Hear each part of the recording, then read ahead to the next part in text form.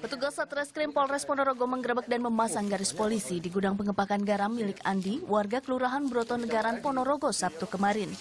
Polisi mendapati gudang berisi puluhan ton garam dan juga praktek pengemasan garam oplosan.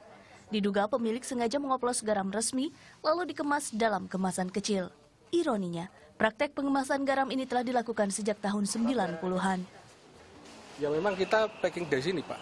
Dari dulu memang di sini, kan di sini Pak. Tadi ada dua, yang satu sudah langsung dari sana, sudah packingan yang di, yang satu dari sini, buat sini sendiri. Ngoplos gitu Bapak? Di yudisasi ya. Hasil pemeriksaan sementara, pemilik telah beroperasi secara ilegal karena tak memiliki izin resmi.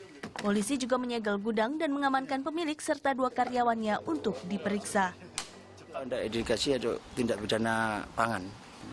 Nah, di samping tindak pangan juga dia tidak uh, tindak pidana perdagangan, melanggar undang-undang perdagangan. Kenapa? Dia tidak dilengkapi izin atau izin untuk izin perdagangan. Garam ilegal ini dijual ke beberapa daerah di Jawa Timur dan sebagian wilayah di Jawa Tengah dengan omset ratusan juta rupiah. Hendra Sraka Setiawan melaporkan untuk NET.